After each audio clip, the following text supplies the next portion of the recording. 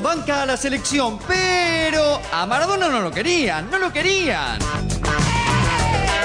Antes de arrancar con la polémica, aclaremos los tantos. ¿La selección jugó bien ayer? No. ¿Estos jugadores dejaron la sangre en los Rolls Royce? Probablemente. ¿Extrañamos al más grande? Siempre. Colombia fue más de una. Si hubo miles de hinchas argentinos que pidieron por uno de sus jugadores. El delantero de Racing en Colombia. 16 partidos en Racing, 11 goles. Con la pelota va saliendo Gago. Higuaín. Pica Zabaleta. Zabaleta. Escuchen, ¿eh? Le gritan a Teo. Mascherano. Gago. Mascherano. De cabeza la va entregando Armero. Y atención con la contra. ¿Sabes qué gritan, no? Gago. Diego, Diego. Sí, Viñolo, gritaban Teo, Teo y además jugaban al veo, veo. Pero por favor, mucho tiempo en la peluquería con Maxi López y poco en el médico de las orejas, papá. Pedían por Diego, Diego. Ah, ahora estoy más indignado que los de Crónica. Mereció ganar Colombia. Los hinchas en Santa Fe piden que se vaya Batista.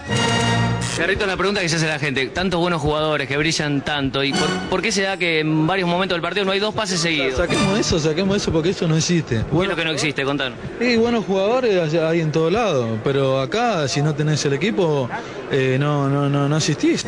Pero la gente piensa que nosotros vamos a hacer cuatro goles en cinco minutos, es imposible. La gente quiere eso. Entonces a veces, estoy hablando, ¿no? a veces eh, es difícil eso, ¿no? Yo sé por qué Tevez estaba tan compungido. No fue porque el equipo todavía no encuentra el rumbo o porque algunos cuestionan su titularidad. No. Tevez estaba mal porque en el fondo de su corazón sabía que había decepcionado al meteorólogo de Martín Lieberman. Qué mal, eh. Qué mal. Frío. Frío es poco. Frío. Poco, increíble. ¿Cuánto dormiste Tres horas. para esto? Qué frío. Más frío que el frío que podemos sentir hoy, me parece, ¿no? Un cementerio de los elefantes. mal la pasaste? ¿Te enojado el Astra? Son unos muertos. No, no, no, yo no eso no. Sí. Vos lo son- podés son decir, yo no lo puedo decir. Yo te digo, tenés razón. Yo no lo puedo decir. Hacemos un equipo. Los 11 que estamos acá, Sí. le jugamos donde quiera. Falta de Donde quiera. no, Es una falta de respeto. No, es una falta de respeto.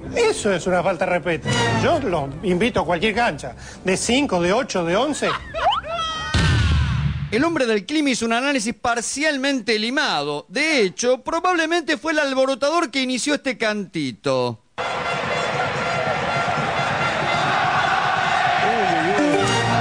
42 minutos tenemos del segundo tiempo.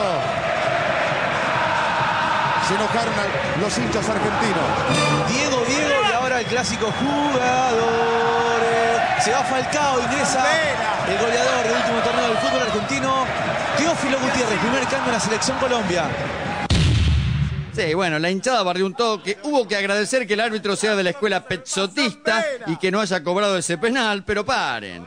Antes de empezar a atajarnos, sigamos este análisis de la mano del Goico. Vamos a hablar un poquito de la situación de, de- de- de Messi, digamos. eh. Va, va al Barcelona, la rompe, la descoce. Viene a Argentina y parece que es otro jugador.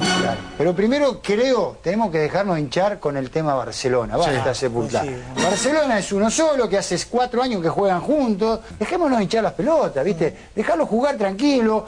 Va- a jugar, si juega bien, va a jugar, que le ponga a Pastore, a Teve, a Agüero, que le ponga a Higuaín. Se calentó Pero Goico. basta de, de- terminar con esta cosa, el, el espejo de Barcelona. Porque es un club que juega con otros clubes, juega en una liga que le saca 40 puntos a- al tercero. Entonces otra cosa, dejémonos hinchar las pelotas y ve, vamos, busquémosle a Messi un lugar en la selección argentina con los compañeros argentinos.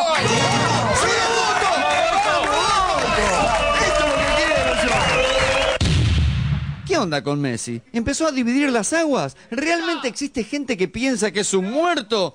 ¿O en realidad el único que lo piensa es su viejo? Messi. Ahí va la pulga. Ahí va Messi. Saque de arco.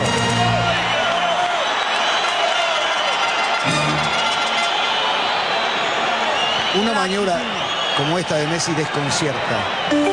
Sí, uno sabe de su capacidad. Mira el padre. Increíble, ¿sí? Lo desconcierta hasta el padre. Duro. Pero no te preocupes, Lío. De última te adopta Caruso Lombardi. Porque si nos guiamos por sus palabras post partido, claramente te quiere tener de hijo. Yo de Messi tengo mi, mi- particularidad de que lo que he opinado siempre. Yo cuando dicen, y los que lo rodean no hacen nada como estuvieron hablando de la semana. Yo para mí no pasa por ahí, porque no lo rodean jugadores del ascenso, lo rodean todos jugadores que son figuras. La selección, la verdad, está en deuda y de hace mucho tiempo. Lamentablemente el periodismo eh, no es lógico a la hora de hablar. Entonces, si vos cada vez que le haces un gol al Getafe o le gana a, a los dos grandotes de, de Inglaterra, eh, hablan todo de maravilla, me parece bárbaro porque lo tiene bien ganado. Vamos a la selección argentina. Eh, no puede ser que no juegue nunca bien para la selección. Ya sé lo que están pensando. Caruso se lo comió crudo a Lionel. Pero están equivocados, ¿saben? A Messi no se lo come nadie. Va, excepto por este súper presentable caramelo. Pero es verdad que anduviste con Messi o todo macana, la verdad, de una vez por todas. Terminémosla. Hay una cámara prendida. No puedo dar declaraciones. ¿Por qué? ¿A la vez lo qué? Porque no puedo dar declaraciones cuando está la cámara prendida. Y después en el corte que te cuento. Ah, dale. Claro. Tomamos un corte chiquitito mientras La practicas. más grande, la sartén más grande, ¿verdad? Esta era. Ah, es- esa es. Claro. Aprovechá el corte para contarnos con quién estás. La cáscara. Bueno. Pero con Messi no pasó nada, la verdad. Porque de una Antes que venga al aire, no estás, ese monitor no le des pelota porque están haciendo chequeo de acá. Pero con mí, pero no puedo decir nada. Ah, no puede decir nada. Al aire. Bueno, venimos al aire. Ya estamos de vuelta en Desayuno Americano con Pamela y Diego. No entiendo. Messi es una mega estrella del fútbol y le hacen pagar derecho de piso con estas groupies. Con razón puso esa cara al final del partido. claro. ¿Tiene algún problema Messi? No. Porque lo vemos inclinado sobre sus rodillas. Como si algo le pasara, ¿no? A ver si podemos tener una toma ahí, ahí, ahí. Y no levanta la cabeza ahora. Sí, por eso te digo. ¿Tiene algún problema Messi? Ese gesto de recién. La mirada, gesto del padre. Y se queda quieto y no se mueve de ese lugar, ¿eh? Por eso te digo, Pero a mí tiene que ver con el fastidio. eh, con la producción propia y de Argentina. Tal cual. ¿Qué le falta a la selección para ganar, golear y gustar? O por lo menos para ganar y gustar. O por lo menos para gustar. Según Fantino y Serelenini, el problema no es que los jugadores sean unos muertos de hambre. El problema es que tienen mucho para comer. Estos mañana se agarran el avión, se toman el pasaje en primera, se van con su Maserati y se van a su piso al lado de Icomo.